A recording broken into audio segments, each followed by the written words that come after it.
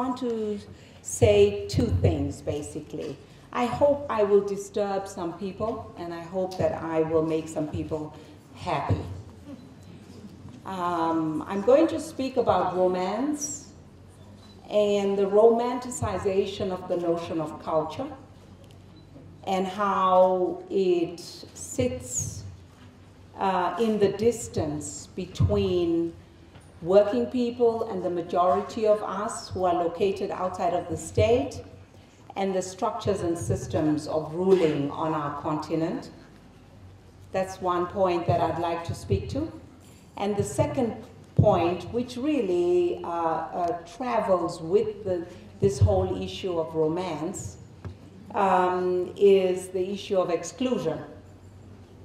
And civil society, which is the topic that I'm requested to speak to, um, has been the bridge, the positioning, the space, discursive, organizational, alternative between the majority of Africans who are working people everywhere on this continent and actually everywhere where we live uh, in the world.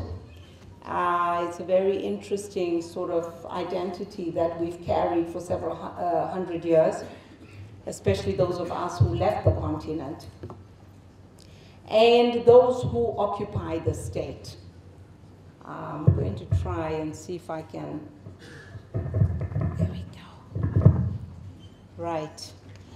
So I think that uh, uh, these three days, while we are uh, discussing who the new Africans are, who do we want to become, I think we have to find the ways of thinking about ourselves that enable us to clarify the past, the colonial and the pre colonial past, um, and also to imagine post-colonial societies.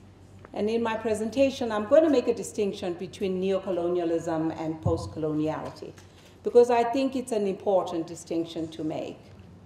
The neocolonial state is a continuation of the colonial infrastructure, ideological, hierarchical, in terms of privilege, and even the very notions of culture but a post-colonial state, not just chronologically, but ideologically and epistemologically in terms of thinking past this present situation that we are faced with on the continent, a post-colonial state is a different state of being for Africans. And I hope that I can just maybe pro provoke one or two discussion points the issue of romance, um, I think, is deeply, deeply problematical. And as the speaker before me, uh, uh, the, uh, the professor Adesami, uh, spoke about culture and the, the, how crucial culture is. But we have to undress culture of the romance that our societies were egalitarian and were kind and caring prior to colonialism because they were not.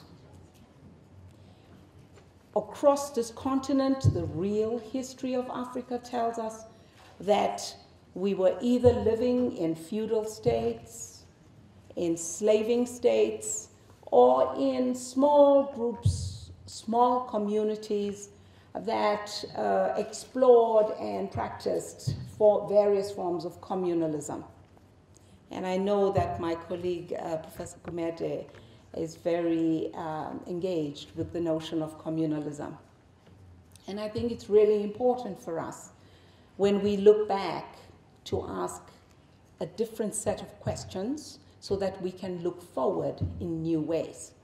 And communalism uh, when it is romanticized, uh, can become extremely dangerous. And the experiences of India uh, teach us some very difficult lessons about communalism. An unscrutinized, uninterrogated notion of communalism that doesn't go anywhere, actually, because conceptually it has it doesn't have drivers, if I could use the new technological language. It's embedded in a notion of the past that once again is shrouded in romance. There are very good reasons why we hold on to notions of romance as Africans because we've been brutalized so terribly. No other group of people on the earth has been brutalized and has been disparaged and deprecated in the ways that Africans have survived those really foul and heinous experiences. But we don't need romance in that way because it keeps us in the past in ways that block us. I want to make reference to a very important issue that has become a popular rallying point right now. And this is the issue of the abduction of, um, nobody actually says the actual number of girls, but you know, it's in the region of, and that really disturbs me because humans are not in the region of. Every single human counts. So we should be speaking about a specific number of human beings who uh, are invisible basically in our societies, except when they are mauled, except when they are, uh, you know, attacked, and often under the guise of cultural practices. Now, I would like somebody to tell me why. Is it the numbers? Because when I heard about the abduction, I said, yeah, but women are abducted everywhere on this continent every day. Girls are abducted all the time into forced marriages and planned marriages and child marriages. You just go to Malawi, that is voting for democracy right now. The levels of abduction of girls are horrendous. Horrendous. So, why is it that this particular instance of abduction is particularly disturbing? Is it the numbers? And the numbers are not even exact.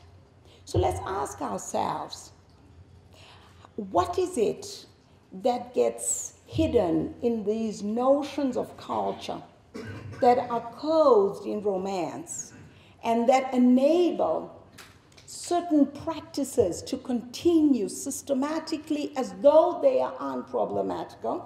And it's only when they become large enough and visible enough that we're outraged. But we still can't solve the problem. I mean, people are pointing at the state rulers in Nigeria, oh, they are inept, they are incompetent, etc.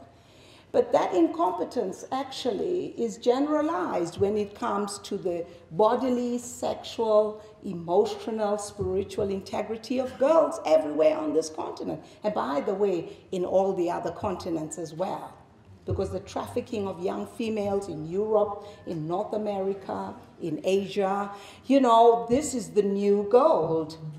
So let's ask ourselves why are we drawn so easily to the populism of doing SMSs and all the stuff that's going on with the new technology? And not asking the deeper questions about how exclusion